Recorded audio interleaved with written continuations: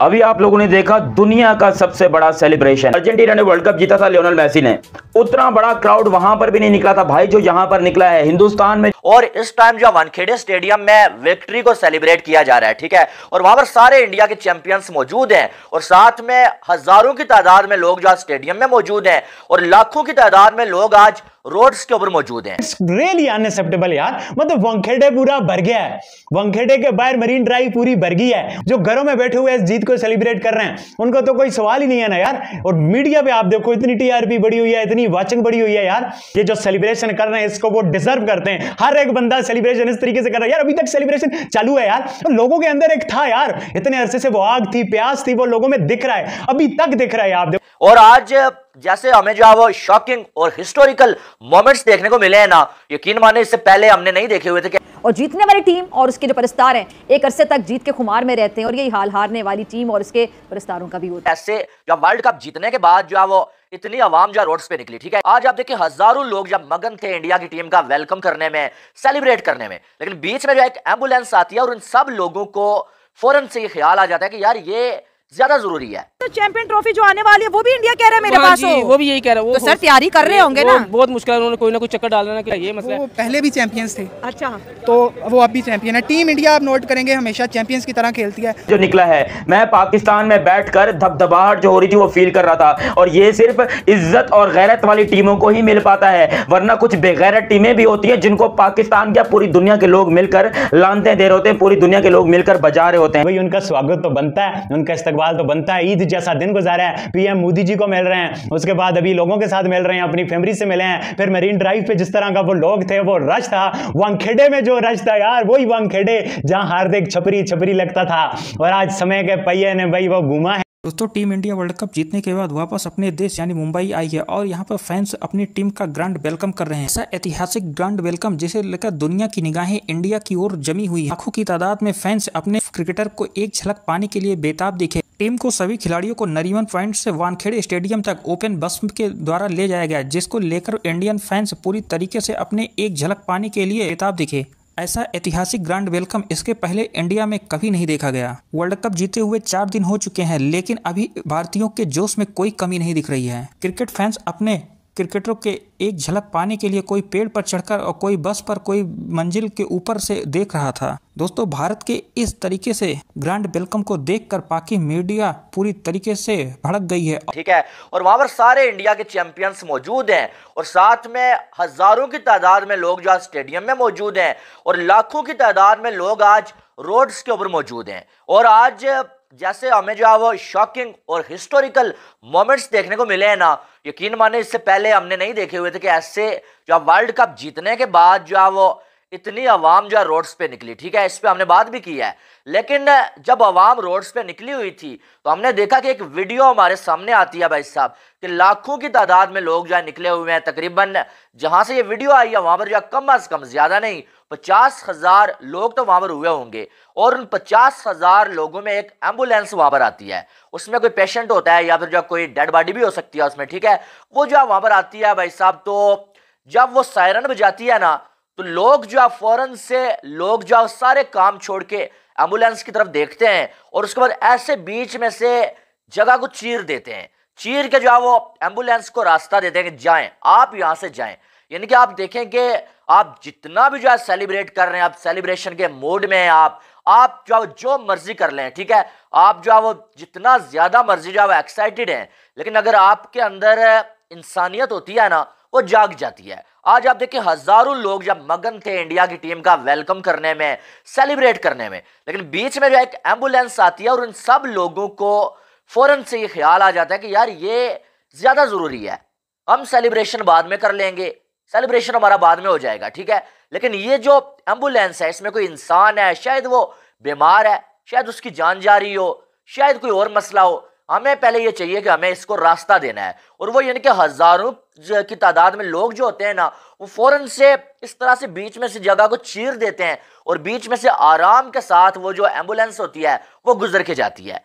ये जेस्टर मुझे आज के दिन बहुत सारे ऐसे जो मोमेंट्स जो मुझे बहुत प्यारे लगे हैं, ठीक है? लेकिन ये जो जेस्टर जो है, वो इंडिया के फैंस की जानब से देखने को मिला है ना, यकीन माने इसने मेरा दिल जीत लिया है कि जिस तरह से वो वीडियो वायरल हो रही है और उस वीडियो में जिस तरह से फ़ौरन से उनको जब पता चलता है कि यार पीछे एंबुलेंस खड़ी है, फ़ौरन से वो लोग जो उसका रास्ता साफ़ करते हैं और उसको वहाँ से निकालते हैं। बल्कि कुछ लोग उसे रास्ता बता रहे होते हैं कि यहाँ से गुजरे यहाँ से गुजरे तो ये जो चीज़ है ना ये हमेशा याद रहने वाली होती है और ये मैं हमेशा कहता हूँ कि सबसे बड़ा जो मज़हब है ना, वो इंसानियत है। और जब आपके अंदर इंसानियत बाकी है ना तो आप का कोई कुछ नहीं बिगाड़ सकता है। और आप दुनिया में हमेशा जो है, वो आपको ऐसे इज़्ज़त मिलेगी, जैसे ये वर्ल्ड कप जीतने के बाद जो है, इंडियंस को इज़्ज़त मिली है और इस टीम ने इंडिया के लोगों का जो सर है, वो फखर से बुलंद कर दिया। लेकिन ये जो मोमेंट था ना भाई, ये मेरे लिए आज के दिन का सबसे बेहतरीन मोमेंट था, क्योंकि इसमें मुझे इंसानियत दिखाई दी है। इसमें मुझे वो जज्बा दिखाई दिया गया है जो इंसानों के लिए इंसान का होना चाहिए और जो होता है हमेशा हम देखते हैं।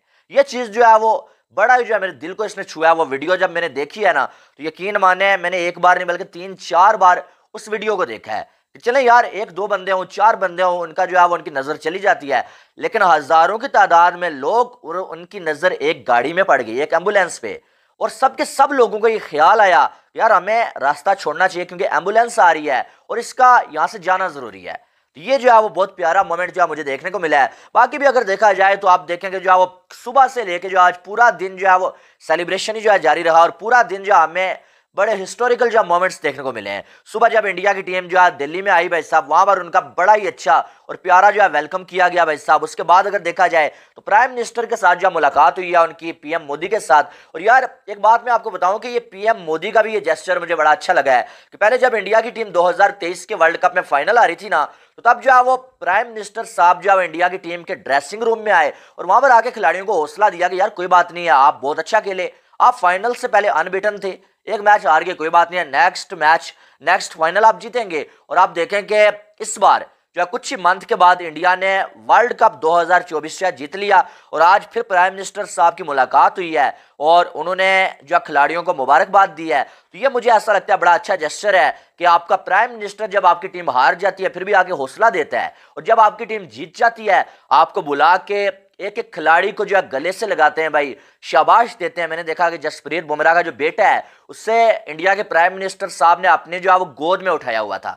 तो ये जो है चीज़ें छोटी छोटी चीज़ें हैं, लेकिन ये बड़ी प्यारी लगती हैं, ठीक है? और ये बड़ा जो है आप ये कह सकते हैं कि इन चीज़ों का बड़ा रोल होता है। किसी टीम के बनने में, किसी कंट्री के बनने में, किसी कंट्री की जो आप ये कह सकते हैं कि उसको जो ऊपर आने में, इस इन चीज़ों का बड़ा जो अहम जो रोल होता है, जो कि आपके पीएम जो आप मोदी साहब ने जो दिखाए कुछ अरसे में हमने जो देखे, मुझे कुछ जो वो देख के जो बड़े अच्छे लगे हैं, ठीक है? बाकी Hardik Pandya T twenty world cup जीतने के बाद इंडियन क्रिकेटर पहली बार अपने देश वापस मुंबई में आए हुए हैं और यहाँ पर उनका ग्रांड वेलकम करने के लिए बेसब्री से फैंस इंतज़ार कर रहे थे और वह घड़ी अब आ चुकी है। यहाँ पर भारतीय फैंस पूरी तरीके से जोश से भरे हुए थे। कोई पेड़ पर चढ़कर, कोई मंजिल पर चढ़कर और कोई टावर पर चढ़कर अपने क्रिकेटरों की एक झलक पाने के लिए बेताब दिखे। अपनी जान जोखिम में डालकर भी लोग अपने क्रिकेटर को देखने के लिए पीछे नहीं हटे। ऐसा पहली बार देखा जा रहा है कि इतनी बड़ी मात्रा पर फैंस अपनी विजेता टीम को देखने के लिए उत्साहित दिख रहे हैं। भारत वर्ल्ड कप जीतने के बाद बारबाडोस से आज चार दिन बाद वानखेड़े स्टेडियम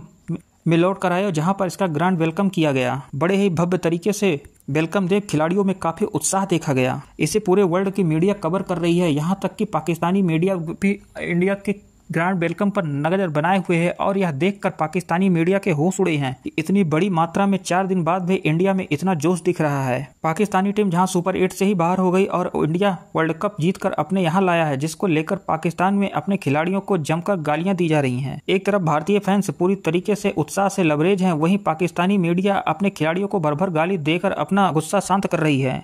अपने खिलाड़ियों को वापस अपने देश आने से पहले क्रिकेट फैंस ने पूरी तैयारी कर रखी थी। हज़ारों लाखों की संख्या में क्रिकेट फैंस को देखने के लिए लोग बेकरार दिखे। दोस्तों, यह T twenty world cup Rohit Sharma की कप्तानी में जीता गया और यह उनका आखिरी टी ट्वेंटी मैच रहा है। वो विराट कोहली ने भी संन्यास लेने की घोषणा कर दी और साथ साथ रविंद्र जडेजा ने भी यह अपना आखिरी T twenty world cup match खेला।